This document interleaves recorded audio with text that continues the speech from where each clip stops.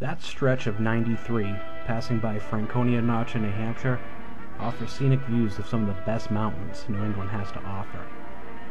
For decades, the cherry on top of this ride was the anticipation of coming up on the old man of the mountain. There he rested high atop Cannon Mountain, carved out by nature, against the New Hampshire skyline, with his melancholy expression forever stoic in the face of whatever Mother Nature had to throw at him. A symbol of strength, endurance, perseverance, and serenity, all carved into one. The people of New Hampshire really seemed to connect with the old man, recognizing that it was something completely unique to their state, and something that was also pretty damn cool. It's hard to say who first looked up and discovered the great stone face of the White Mountains. It's been long debated and safely assumed by some to be indigenous Native Americans. However, the first actual record kept in New Hampshire history seems to come from 1805 by land surveyors from Franconia. Tourism began shortly after with several notable authors and two U.S. presidents among some of the visitors over the years. By 1945, the old man's majestic profile would become New Hampshire's state emblem. He since appeared on highway signs, license plates, and of course, on the back of the state quarter. Sadly, the old man would eventually meet his fate, collapsing overnight on May 3, 2003. Years of tough New England weather finally caught up to him. To no fault of the people of New Hampshire, I might add. Weatherproofing attempts were long in place. By the 1920s, initial work was started to fix a crack on the forehead. And in the late 50s, additional money was given by the state to improve preservation. Annually, the patchwork was kept up by Niels Nielsen, an experienced state highway worker eventually passing the title of caretaker on to his son in 1991. And we probably have them to thank for keeping the old man of the mountain up there as long as he stayed, as well as anyone else that helped along the way. The wake of the collapse left a big question mark. How best to honor the memory of the rock?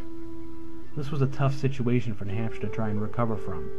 The old man became much more than just a tourist attraction, but rather a symbol that became synonymous with the state much like their motto live free or die. The first thought was just to build a replica of what was there, and an idea that was quickly shot down by the governor.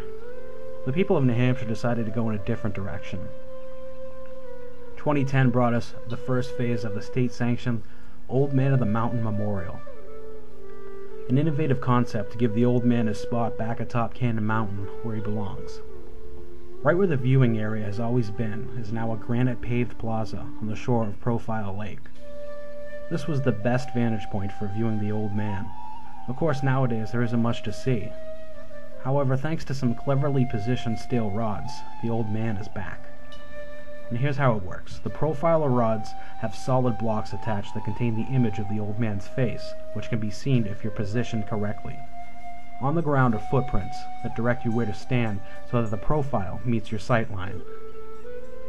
If you stand in the right spot and look straight up, it creates the perfect illusion of how Cannon Mountain looked before the old man of the mountain collapsed back in 2003. For a brief moment, it looks exactly like how I always remembered, something I haven't seen in over a decade. Additionally, the profile rods and new viewing area help bring back tourists and help educate the next generation about what was one of New England's most popular destinations. A decade after its collapse, there's definitely a line drawn in the sand. On one side are the people that are old enough to remember seeing the old man, and those that got out before it collapsed. The other side is the people that missed the opportunity, along with the next generation, not old enough to have seen it in person. To them, he's just a picture in a book or on a postcard in a gift shop. The rods at least make it something more than that.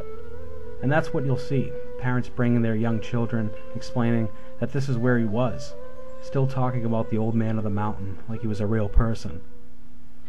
Overall, I think the state of New Hampshire made a good call on this one, because even if they spent all that money in building a replica up there, it would always be missing what made it so special in the first place the fact that it wasn't man made, and that Mother Nature designed it.